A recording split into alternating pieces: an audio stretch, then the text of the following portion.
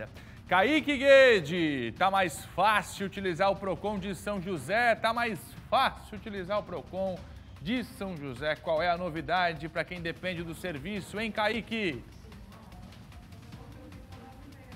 Olá, Fernando. Eu aqui de novo agora para falar com a população de São José. Isso porque estou na sede do Procon, bem na Avenida Beira-Mar de São José. Podemos observar ali ao fundo. Quem precisar do serviço é só vir até aqui. E um detalhe agora: não precisa mais agendar o serviço. Basta chegar aqui entre o meio-dia e as seis da tarde, trazer um documento de identificação, comprovante de residência e, claro, tudo documentado relacionado ao fato que a pessoa está procurando ajuda, está procurando entender melhor, né? Alguma situação ali relacionada ao direito do consumidor, é claro. Do meio-dia às seis, portanto, só vir ao PROCON sem agendamento. Quem já agendou pode vir no horário que estava agendado, vai ser recebido, continua tudo da mesma forma. É uma, é uma alternativa para levar mais dinamismo, melhorar esse atendimento, claro, aos consumidores aqui em São José. Fernando, volto contigo aí no estúdio.